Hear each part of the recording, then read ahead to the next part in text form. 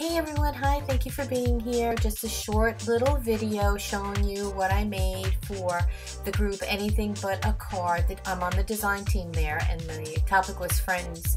So I did little best friend girls on some scrap paper that I had and just using pan pastels, a sponge uh, eyeshadow brush. I just went at it. it. Took me about 30, 40 minutes. I don't even know. It was really quick and I had a blast. So let yourself free and have some fun. Thank you.